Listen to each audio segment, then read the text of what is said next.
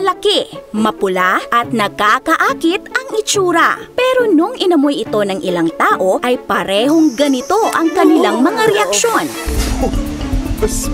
Ito ang Rafflesia arnoldi, ang pinakamalaking bulaklak sa mundo. Ang amoy daw nito ay parang nabubulok na laman, kaya tinatawag rin itong corpse flower. Ito ay isang parasite na bubuhay sa loob ng isang host at parang vampirang sinisipsip ang lahat ng nutrisyon nito. Parang tao lang din yan. Merong dumidikit at sumisipsip dahil napapakinabangan ka. Pero kapag ubus ka na, iiwan ka na lang ng basta. Kaya mag-ingat tayo mga kaasam. Ang halamang ito ay tinatawag ding corpse flower, ang Titan arum. At alam nyo ba, ito ang pinakamabahong halaman sa mundo ayon sa Guinness World Records. Ito rin ang may hawak ng titulong Tallest Bloom. Umabot sa 3.1 meters ang taas. Mas mataas pa kay Kai Soto. Sa sobrang taas, tiningala na ito ng babae. Ayon sa mga nakaamoy na nito, para daw itong kombinasyon ng amoy ng patay na daga, bulok na itlog,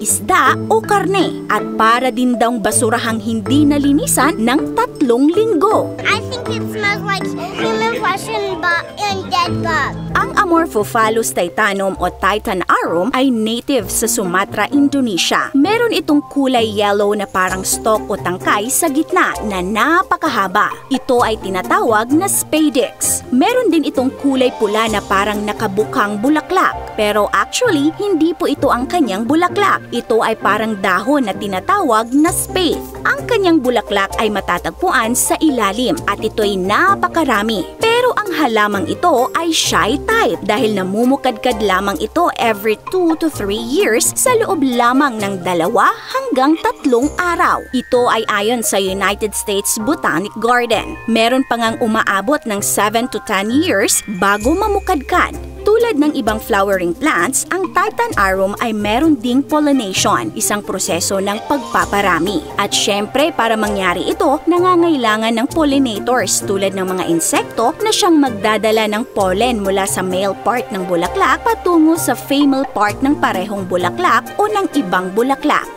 Namumukadkad ang Titan arum kapag ang mga bulaklak nito ay ready nang mapollinate at nagpapalabas ito ng napakabahong amoy. Kung ang ibang bulaklak ay nagpapalabas ng mabango at matamis na amoy para maka-attract ng mga pollinators tulad ng bubuyog o ibon, ang gusto namang i-attract ng Titan arum ay ang mga insektong nabubulok na laman ang paborito tulad ng carrion flies at beetles.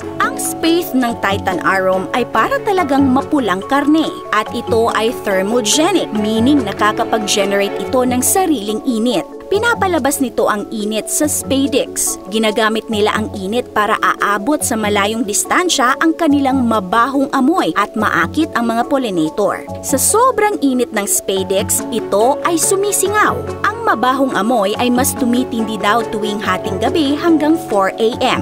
Matitrick ang mga pollinators sa mabahong amoy nito at aakalain nilang totoong nabubulok na laman ito kung saan pwede silang mangitlog at makakain. Kapag pumasok na ang insekto sa Titan arum ay maaaring meron silang dalang mga pollen mula sa ibang Titan arum. At kung papalarin ay malalagay nila ito sa mga female flower at magpuproduce ito ng prutas na naglalaman ng buto na siyang magiging bagong Titan arum. Ang Titan arum ay itinuturing na ngayon ng International Union for the Conservation of Nature bilang endangered. Kaya naman maraming botanical gardens ang nag-aalaga at nagpaparami ng Titan arum. Dahil nga minsan lang ito nagbo-bloom, ay mano-mano na lamang na kinukuha ng mga biologists ang mga pollen nito para i-freeze at gamitin kapag nag-bloom na ang iba o di kaya ay ibinibigay nila ito sa ibang botanical gardens. Ang isa pang tinatawag na corpse flower ay ang Rafflesia.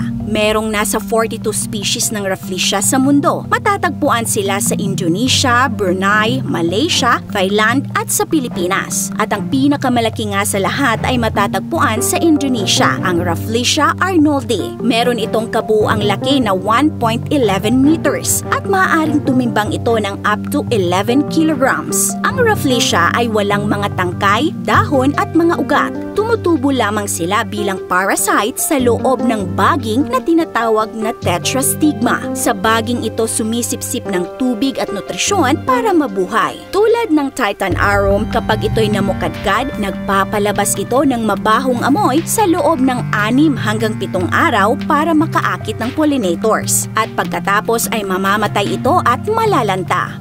Dito naman sa Pilipinas, ang pinakamalaking Rafflesia ay tinatawag na Rafflesia schadenbergiana. Matatagpuan ito sa Mount Apo sa Davao at merong laki na 0.8 meters ang diameter. Ang Rafflesia schadenbergiana ngang ito ay natagpuan sa Lantapan, Bukidnon. Nasa 0.78 meters ang diameter. Ito siya, para makita nyo gano'n siya kalaki. Ito yung mukha ko.